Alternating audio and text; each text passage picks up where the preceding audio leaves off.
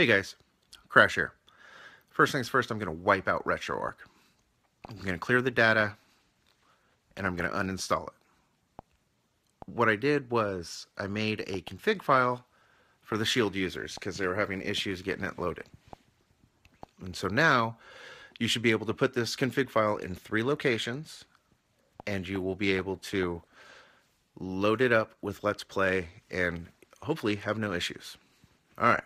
Now that RetroArch's completely gone, we're going to go into the Google Play Store and get it from there. That way it can update and we get extra content later on.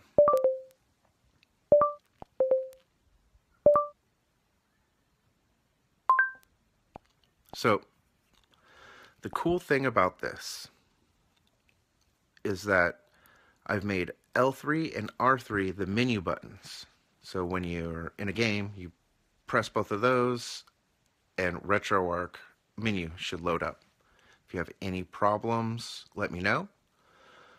Um, if your controller is not working off the bat, but you hit those and you get in the menu, go ahead and map your controller in there. So the first thing after it installs is you want to open it. So it actually builds and extracts all the files that it needs. And then just go ahead and quit. If that happens, go ahead and close the app. I'm going to go into it again just to show you what it looks like. It's blue with the ribbon. That's the standard RetroArch interface. So you download the file, get it on your shield any which way you can, and you're going to copy it. Uh, sometimes navigating ES File Explorer while on the shield is tricky. So you want to highlight RetroArch by pressing and holding the A button and then going down and press copy. Go into internal storage, Android. You can't really see it, but it's on Android. Data, com.retroarch. Then you want to go into the file folder, the files folder, and overwrite this RetroArch config. So paste it here and overwrite. Now, you'll want to copy that config file. So if you accidentally back out, go back into the files folder, highlight it, press and hold the A button, copy,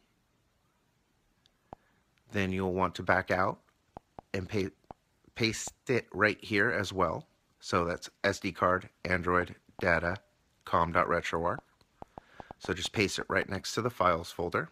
That's place two. First place was in the folder, second place was there. Copy it once again. Go to internal storage.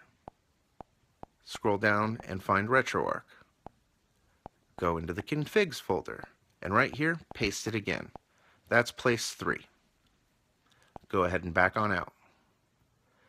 If you follow those directions and did everything all right, when you go back into RetroArch, you'll be greeted with a different screen. Um, you'll know it worked because I made it look different. Now, with any luck, everything will auto map and you're good to go. It should look like this now. Notice my thing auto mapped. I can move around. Excellent. Go ahead and quit. Launch Let's Play. Go to one of your games. Launch it. Oh no, it didn't launch. Oh, I need to get a core. So, back on out. Go back to RetroArch. Go to Load Core. Download Core. Find the core you need. Download it.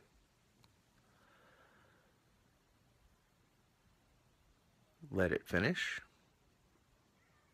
Go ahead and just back on out. You notice it was there. Go back into Let's Play. Click on your game.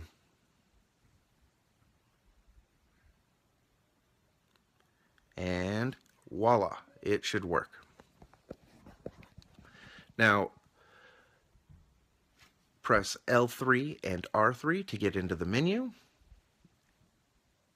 And if you need to, change any inputs you want. For this game, or this core, I'm changing my coin button because it doesn't like my select button. So I changed it to R2 because it's not used. Then I'm going to go over here and save it. Go to configuration, save current configuration. You can see where it's saved at the bottom of the screen.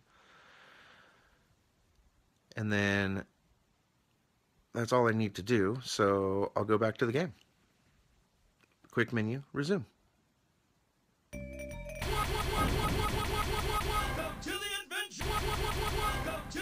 Enjoy uh, me my mediocre versus games. I'm more into the uh, long role-playing games like Final Fantasy VII. So enjoy me fighting Doslam and some beholder looking thing.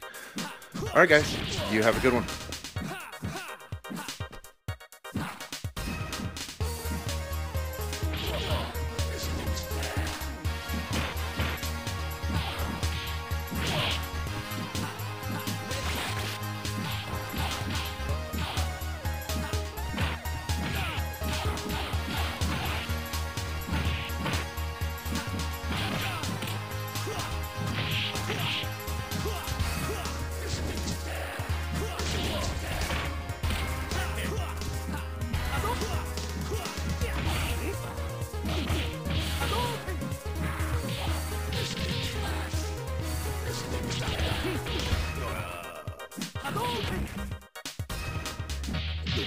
You're